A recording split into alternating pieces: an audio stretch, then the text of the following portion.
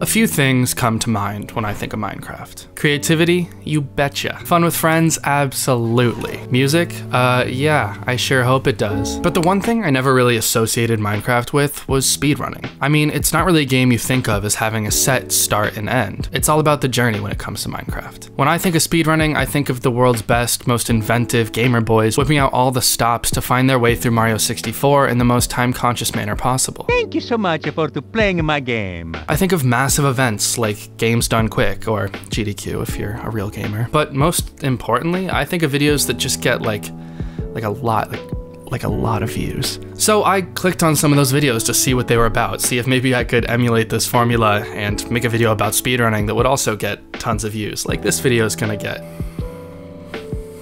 Now, after clicking on some of those videos, eventually one popped up in my recommended, and it was a Minecraft run, so immediately I had to click um, of a guy doing a run at GDQ this year. The runner, Illumina Elite, which is a certified gamer name, beat the whole game start to finish in just one hour. This run used no glitches and it was a random seed, so he had to drop into the world, figure out where the heck he was, get all the necessary stuff needed to kill the Ender Dragon, which is like really hard to acquire, get in there and kill the thing. Now, an hour sounds like a lot of time, uh, but if you've ever played Minecraft, you know an hour can fly by. And when you think of all the stuff he needed to do to get there, I mean, like, I have never killed the Ender Dragon.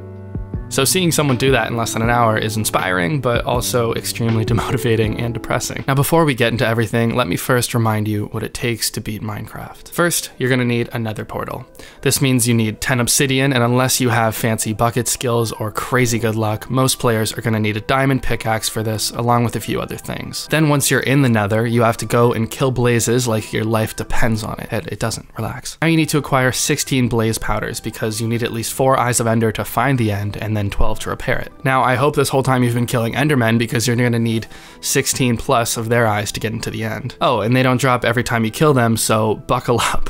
All right, so you've done all that, and now you're finally ready to get into the end, right? Wait, you remember to be collecting beds this whole time, right? You didn't? Okay, go kill some sheep, and uh, remember, they deserve it. Water sheep is inside each and every one. Now, beds are important because the Ender Dragon is a very, very sleepy boy. Now go in there, give him some beds, put him to sleep, and then you've beat the game. Now, look at the clock. Notice how it says 3 a.m.? Uh, that's because you're not a speedrunner. But if that was fun for you, you might have what it takes to be a speedrunner. Now, when it comes to Minecraft speedrunning, there are basically four categories built upon two variables.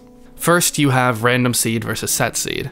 Random seed basically means you get a totally new world that is created when you start the run. This is much more difficult than set seed because every time you drop in, you don't know where anything is, so you have to be ready to think on the fly. Everything is improvised and you have to be super creative.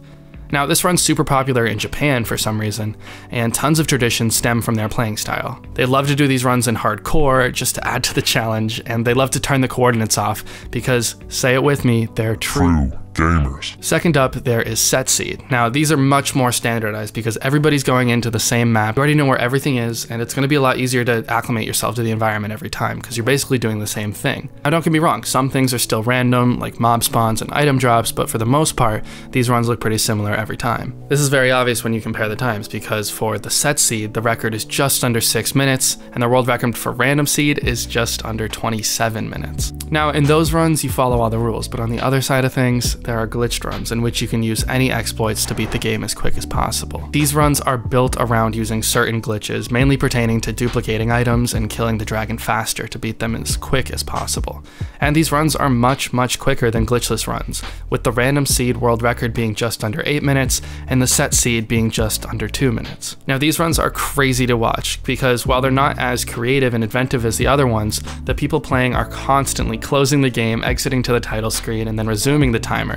It is like watching the world's most indecisive player play through Minecraft. Alright, time to play some Minecraft. Let's get into it. Yeah, you know what? I'm bored. All right, never mind. I'm gonna go back in. Let's let's play some Minecraft. Oh, never mind. I'm bored. All right, fine. I'm gonna buckle down, play some Minecraft. Maybe we'll get some. Nope, I'm, I'm, I'm quitting again. Now, here are the four main categories, but there's a few more because some people like to take it just a step further. The fastest run in history, I believe, was done in just 95 seconds, but this wasn't done at even close to full speed. This player used a program called TAS, which is short for tool assisted speedrun, to slow down the game speed and let you do intricate moves much more easily. Using TAS allowed a user to beat the game in just 95 seconds, which is insane to think about. Uh, hey Jared, uh, the Uber's gonna be here in two minutes. You ready? Yeah, I'll be there in a second. Uh, just let me play through Minecraft real quick. Now, the reason I took time out of my day to make this video uh, is not actually chasing views. It's because I find the world of Minecraft speedrunning to be extremely interesting and so different from speedrunning in any other game I've ever seen. You're not worried about building the perfect house. In fact, everyone who does these runs doesn't even bother to build a house. It's a totally different way of playing the game, and in comparison to other speedruns, games tend to have a predetermined start and finish. They have levels to beat, they have a end scene with credits, and while we do have that, it's not something that's obvious from the start. For years, I didn't even know how to beat Minecraft. In Minecraft, there's just a world, a world to explore and exploit for sure, but the start and finish is more of a blurred random line than it is in your typical game. It brings out some of the most creative moves I've ever seen in speedrunning, and I believe it deserves more attention. If you haven't already, go check out a speedrun. You'll probably learn something new, I know I did, and you'll probably have a blast doing it. Thank you guys for watching. This has been Meraki. Bye bye.